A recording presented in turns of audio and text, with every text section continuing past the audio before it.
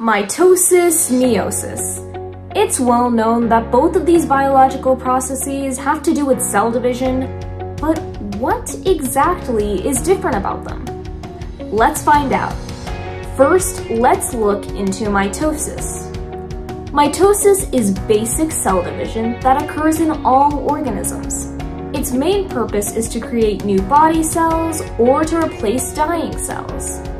Because of this, it only divides once, resulting in two new daughter cells, which have the same amount of chromosomes as their parent cell and are identical to each other.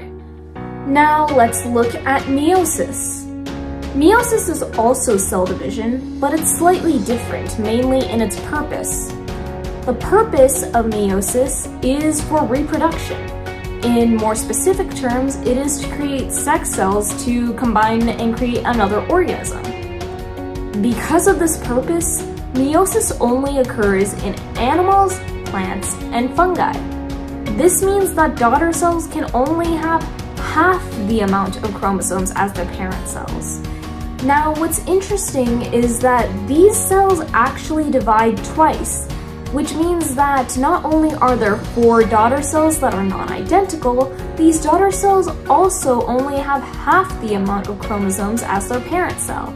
The purpose of this is so that it can combine with another sex cell and create a new organism. So, to recap, in mitosis, the cell only divides once for the purpose of creating new body cells, the two new cells are identical to each other, and they have the same amount of chromosomes as their parent cell. In meiosis, however, the cell divides twice for the purpose of creating a sex cell for reproduction, the four new cells are not identical to each other, and they have half the amount of chromosomes as their parent cell.